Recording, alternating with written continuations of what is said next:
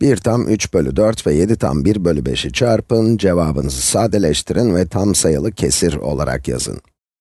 Öncelikle bu tam sayılı kesirlerin her birini bileşik kesir olarak yazalım çünkü tam sayılı kesirleri çarpmak zor. En azından benim için kolay değil.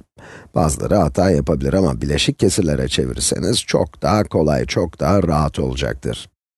Hepsini bileşik kesirlere çevirelim. 1 tam 3 bölü 4 ile başlayalım. Paydamız 4 olarak kalacak ama bileşik kesir olduğu için payımız 4 çarpı 1 artı 3 olacak. Bunun böyle olmasının sebebi 1'in 4 bölü 4'e eşit olması. Başka bir deyişle 1, 4 tane 1 bölü 4'ün toplamına eşit değil mi? 1, 4 bölü 4 ediyor. Üstüne 3 tane daha 1 bölü 4 ekliyoruz. O zaman 4 bölü 4 artı 3 bölü 4 eşittir 7 bölü 4 olacak.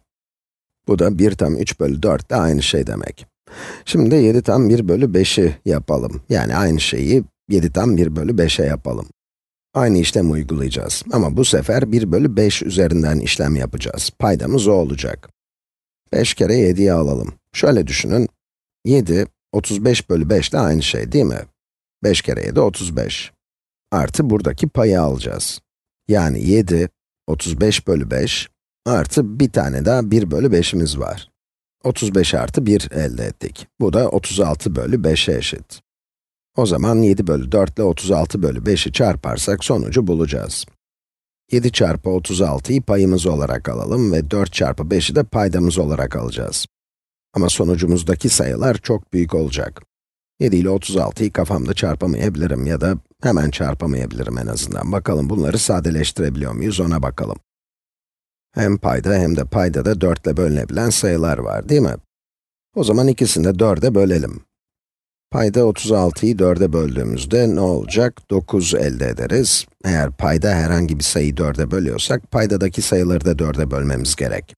Burada 4'ün 4 ile bölünmesinden de 1 kalıyor. Elimizde 7 çarpı 9 kaldı. Peki 7 çarpı 9 kaç olacak? O da 63 eder. Bölü 1 çarpı 5'i de yazalım. Böylelikle cevabımızı bileşik kesir olarak bulduk. Ama cevap tam sayılı kesir şeklinde isteniyor bizden değil mi? O zaman 63 bölü 5 kaç eder? Bunu anlamak için 63'te 5 kaç kere var ona bakacağız. 5, 6'da bir kere var. 1 çarpı 5 eşittir 5, çıkaralım. 6 eksi 5 eşittir 1. 3'ü aşağı getirdik, aşağı indirdik. Onun için içinde 5 iki kere var. Evet, demek ki 63'te 5, 12 kere varmış. 12 kere 5, 60. 63'ten çıkaralım, ne olacak? 3 kalıyor. Demek ki 12 tam 3 kalana veya 3 bölü 5 kalana eşit oluyor. Bundan buna geri dönmek isterseniz yapmanız gereken şey şu, 12, 60 çarpı 1 bölü 5 ile aynı şey. Veya 60 bölü 5 ile. 60 bölü 5 artı 3 bölü 5 eşittir 63 bölü 5. Bunların ikisi de aynı.